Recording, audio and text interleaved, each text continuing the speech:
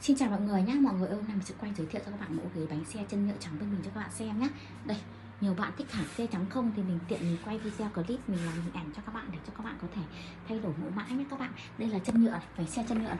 di chuyển dễ dàng nhé và nâng lên hạ xuống từ 40 đến 55 cm nhé Ghế này thì các bạn có thể xoay được 360 độ nhé Mặt đây, mặt thì tùy chọn nhé các bạn. Đấy. Mình quay như thế nào các bạn sẽ nhận hàng y như vậy thôi. Nên các bạn cứ yên tâm nhé các bạn. Mặt này thường mình có nhiều màu, nhưng riêng trắng này mình chỉ bán linh trắng thôi nhé các bạn. Thì tùy vào nhu cầu của các bạn các bạn có thể chọn mẫu mã cho hợp lý nhé thôi mình quay qua một đoạn vậy thôi. Mình cảm ơn các bạn nhiều. Mình chào các bạn.